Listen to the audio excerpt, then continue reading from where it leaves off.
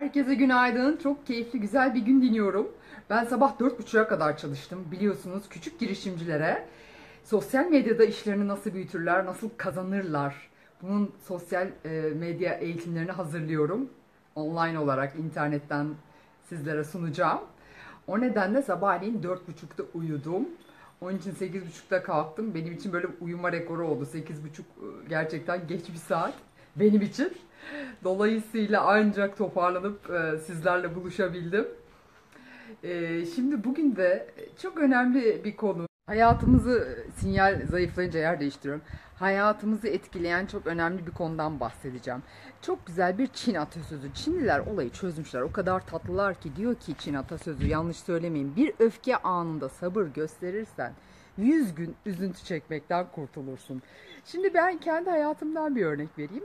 E, kurumsal hayatta çalıştığım yıllarda bir gün sabahleyin e, bir iş arkadaşım ofise geldi ve enteresan bir şekilde hatta şeyi çıkarıyordu, paltosunu çıkarıyordu, beresini falan çıkarıyordu bir soğuk kış günü.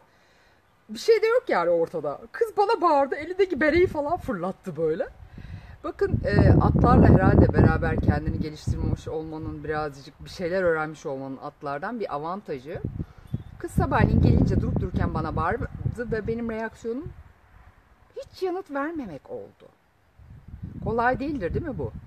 Bizi sinirlendiren bir insanı da biz karşımda sinirlendirmek isteyiz. Yani bunu hak etmediğim yerde hemen yanıtını vermek isterim. Genelde bizim insanoğlunun normal doğal yaklaşımı bu oluyor. Fakat çok enteresan bir şekilde ben ne yaptım? Ee, o anda beynime e, aldanmadım yani. Çünkü eğer beynimi dinleseydim şak diye yanıt vermemi isterdi beynim. Ben o anda ne yaptım? Yahu dedim bu kızcağıza yazık. Bu kızcağız evde kavga etmiş gelmeden önce eşiyle. Kötü bir e, ruhu, hali ruhiye içinde olduğu belli diye. Hiç yanıt bile vermedim. Aynı gün akşamüstü gelip bana şey dedi ya kusura bak ben sabahleyin durup dururken sana çıkmıştım. Seninle bir alıp veremediğim yoktu aslında.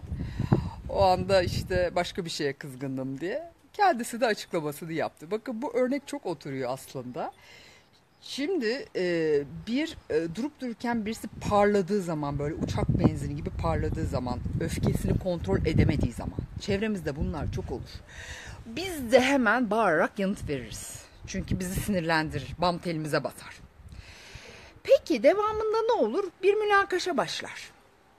Peki ben orada o saniye düşünüp de o kişiyi bu e, öfkeli olmaya e, sebep olan nedeni bir bulabilsem. Çok azıcık düşünmek. Belki içeriden ona kadar sayacağım. Ya bu kadının veya bu adamın bende işi yok. Niye bağırıyorla ilgili. Altında yatan sebebi birazcık düşünebilsem. Yani o anki onun o hareketinin motivasyonunu ya da kaynağını bir düşünebilsem. Ee, niye güzel olacak biliyor musunuz? Münakaşanın çıkmaması. Benim için iyi olacak. Çünkü şimdi bunun karşısında siz antitez bana üretebilirsiniz. Diyebilirsiniz ki ya bana birisi bağırıyorsa hani peygamber demiş ya bir tokat attıysa bir tokat daha atsın. Niye öyle olsun diyor olabilirsiniz. Evet insanız. Bizim de hislerimiz var. Biz de öfkemizi belirtmek isteriz. Ancak orada siz öfkeye yanıt vermediğiniz zaman kazanan kişi oluyorsunuz. Gerçekten ben bunu deneyimliyorum. Öfkeyle bağıran bir kişiyi o anda alttan almanız gerçekten size kazandırdığı için daha sonraki dakikalarda sinirlenme katsayınız artmayacak, öfke, kavga ortaya çıkmayacak. O kadar güzel çözümlenecek ki olay. Siz böyle reaksiyon gösterdiğiniz için. Yani bizim iyiliğimiz için bu tip durumlarda durup bir düşüneceğiz bağırmadan önce. Ben bunun faydasını gördüm. Çinli de atasözüyle bunu çok güzel söylemiş. Dün sosyal medyada bir e, kaba saldırıya uğradım. E, ve de çok güzel yanıtını yazdım kişiye. Ben de güzelce alttan alarak güzel güzel anlattım. Hani bazen o kadar o kadar kaba ve hakaret dozunda oluyorlar ki gerçekten bunlara yanıt vermemek gerekiyor. Hani sayfadan ışınlamak gerekiyor.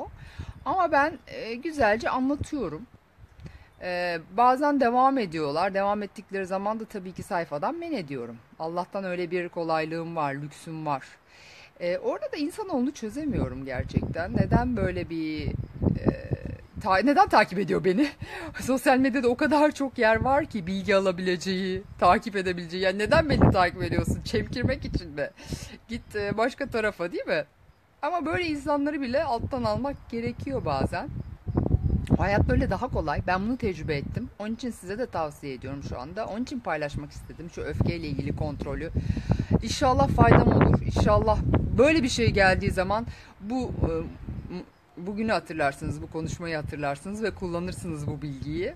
Çünkü her şeyi biliyoruz aslında ama hatırlamak gerekiyor bazen.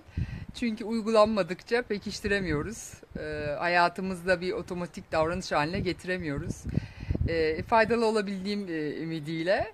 Güzel bir gününüz olsun. Görüşmek üzere. Hoşçakalın. Sevgiler.